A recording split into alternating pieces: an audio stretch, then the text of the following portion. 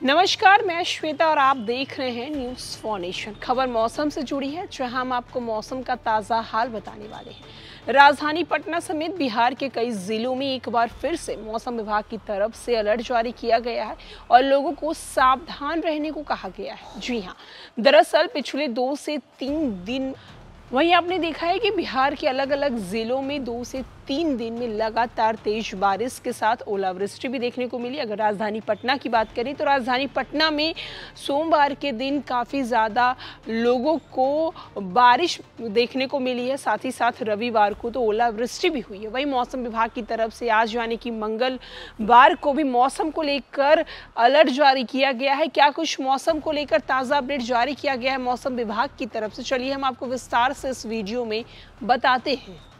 बिहार के कई जिलों में मंगलवार को भी बादल छाए रहेंगे। कहीं कहीं हल्की बारिश की भी संभावना है। मौसम विभाग के सभी 38 जिलों में आंधी बिजली का अलर्ट जारी किया है। इस दौरान 40 से 50 किलोमीटर प्रति घंटे की रफ्तार से तेज हवा चलेगी।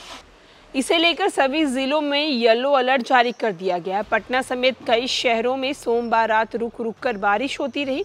इससे तापमान में गिरावट आई है। पटना में सुबह भी बादल छाए हुए हैं। राजधानी में आज हल्की बारिश की भी संभावना है।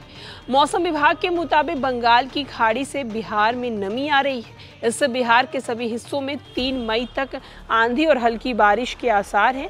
चार मई से मौसम में बदलाव होगा। बिहार में तीस अप्रैल तक सामान्य से बत्तीस प्रतिशत अधिक बारिश जो है वो दर्ज की जाएगी।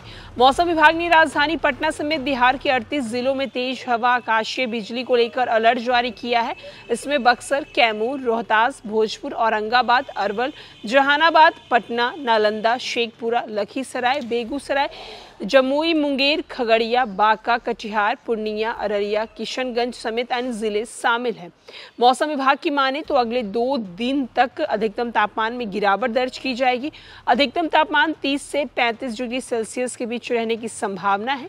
वहीं न्यूनतम तापमान 18 से 23 डिग्री सेल्सियस के आसपास रह सकता है।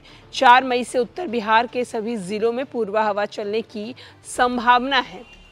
मौसम विभाग की तरफ़ से ये अलर्ट जारी करते हुए बताया गया है कि आने वाले दो तीन दिन जो है वो मौसम में इसी तरीके के बदलाव देखने को मिलेंगे, जहाँ लोगों को, रह रहकर लोगों को तेज़ बारिश देखने को मिल सकती है। आपको बताते चले कि मौसम में जो ये बदलाव लगातार देखने को मिल रहा है, जहाँ मई के महीने में लोगों को हल्की हल्की ठंड महसूस हो रही है, जहाँ रात में अब लोग जो हैं वो पंखे के नीचे चादर ओढ़ सोने के लिए मजबूर हो रहे हैं, क्योंकि मौसम में ये जो बदलाव हो रहा है।